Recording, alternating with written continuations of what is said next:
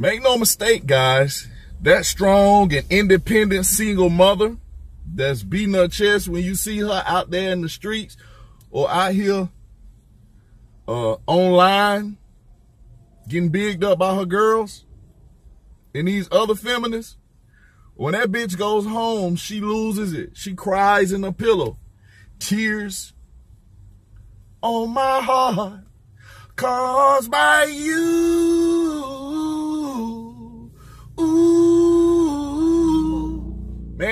Bitches are in love with their exes.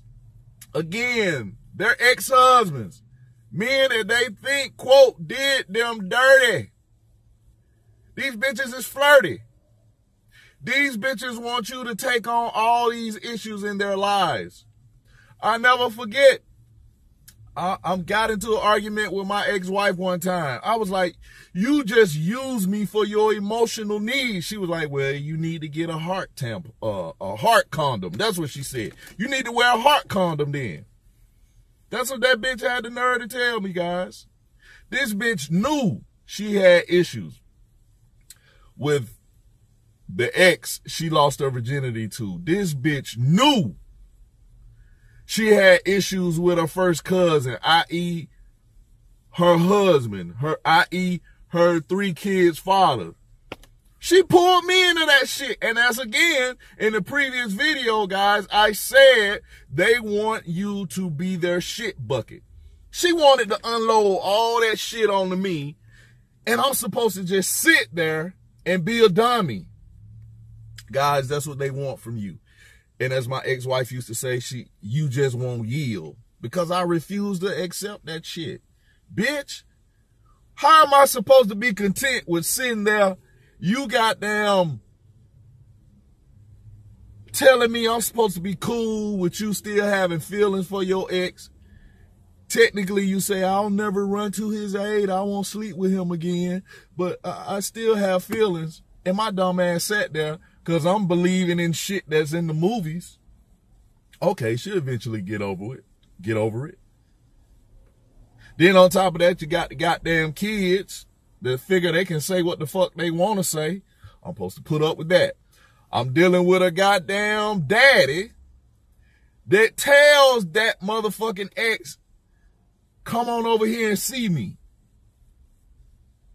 I'm dealing with a sister that calls defects on me when I try to discipline the kids. I deal with cousins who fucking, she tells me herself, they don't like you.